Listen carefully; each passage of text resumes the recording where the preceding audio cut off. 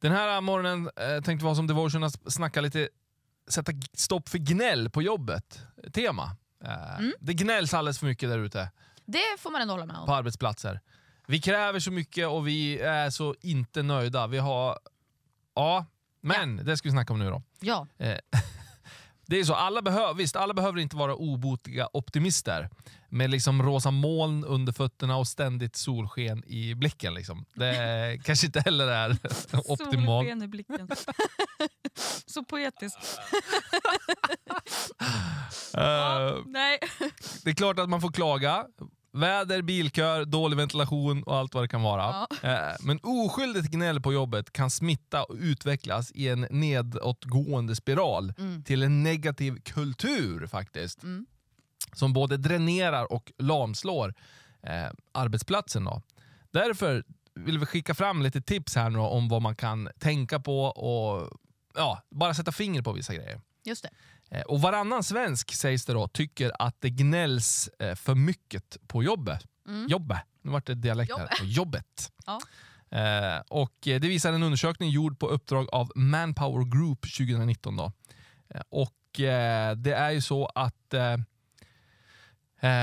lite verktyg, eller vad, vad, vad gör då det här gnället med, en- med oss människor och en, en arbetsplats? Då?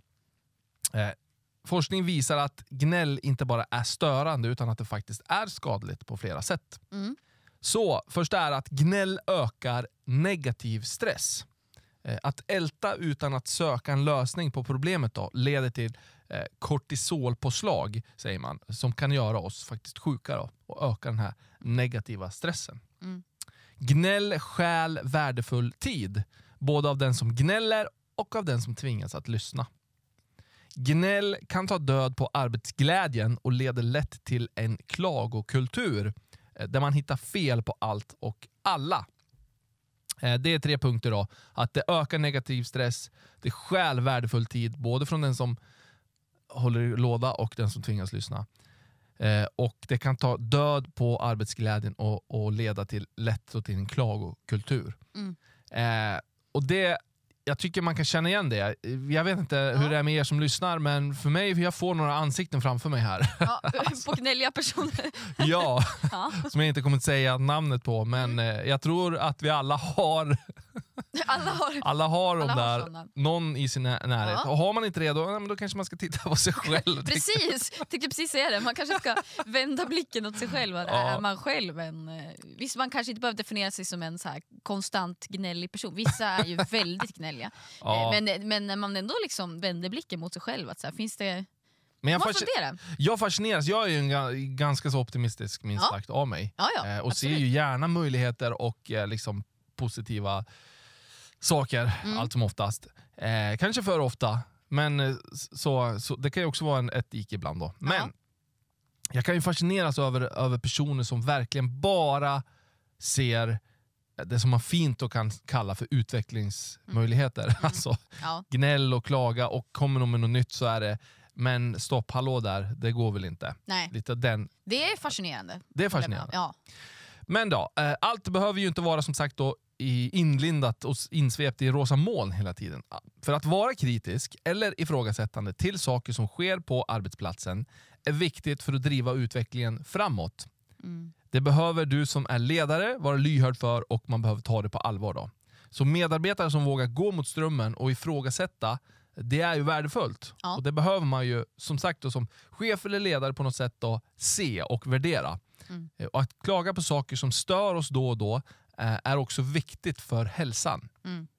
Punkt slut. Men gnäll då, när det går över till gnäll så tippar det över från att vara kanske konstruktiv kritik eller något konstruktivt. Då. Mm. Eh, Gnäll är ett ständigt klagande eller ältande eh, om saker som man varken vill eller kan göra någonting åt. Nej.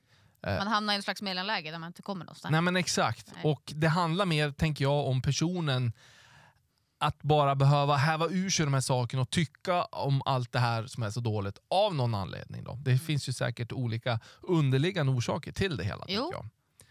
Eh, motsatsen till lösningsorienterad dialog, och om det är ju då det här att man är den här gnälliga personen. Då.